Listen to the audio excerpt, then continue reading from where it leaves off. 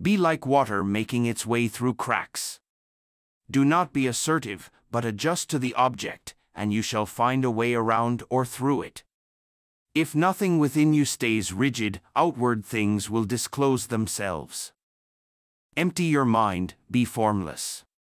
Shapeless, like water. If you put water into a cup, it becomes the cup. You put water into a bottle and it becomes the bottle. You put it in a teapot, it becomes the teapot. Now, water can flow or it can crash. Be water, my friend. You must be shapeless, formless, like water. When you pour water in a cup, it becomes the cup. When you pour water in a bottle, it becomes the bottle. When you pour water in a teapot, it becomes the teapot.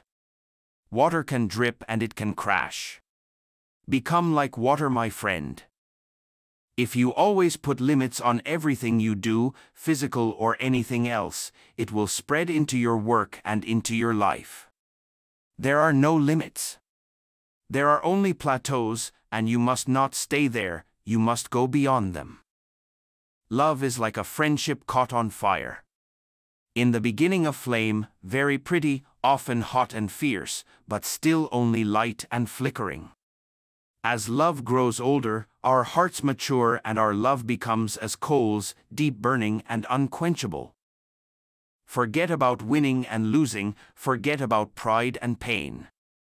Let your opponent graze your skin and you smash into his flesh, let him smash into your flesh and you fracture his bones. Let him fracture your bones and you take his life. Do not be concerned with escaping safely, lay your life before him. Many people dedicate their lives to actualizing a concept of what they should be like rather than actualizing themselves.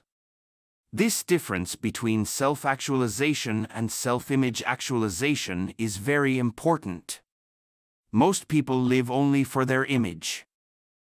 The second-hand artist blindly following his sensei or sifu accepts his pattern. As a result, his action is and, more importantly, his thinking become mechanical. His responses become automatic, according to set patterns, making him narrow and limited. Forget about winning and losing, forget about pride and pain. Let your opponent graze your skin and you smash into his flesh, let him smash into your flesh and you fracture his bones. Let him fracture your bones and you take his life. Do not be concerned with escaping safely, lay your life before him. Life is better lived than conceptualized.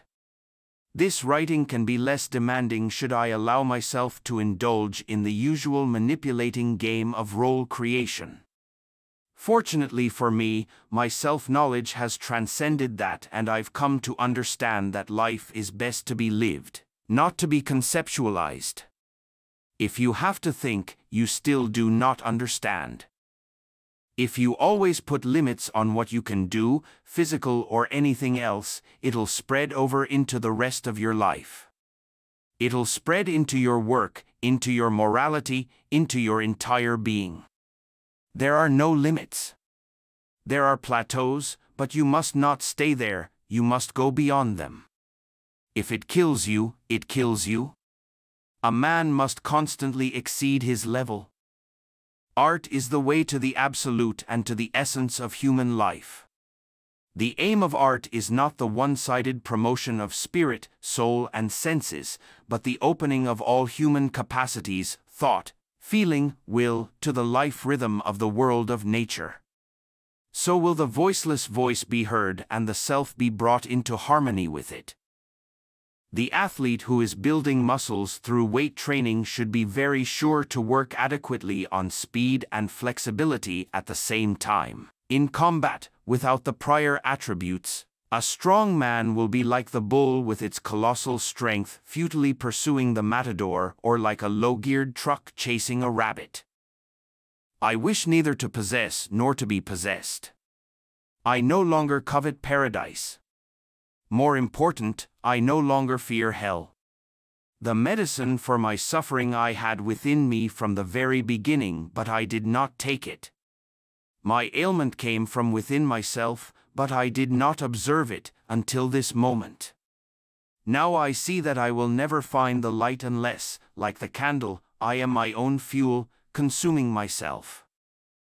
The world is full of people who are determined to be somebody or to give trouble. They want to get ahead, to stand out. Such ambition has no use for a gung fu man who rejects all forms of self assertiveness and competition.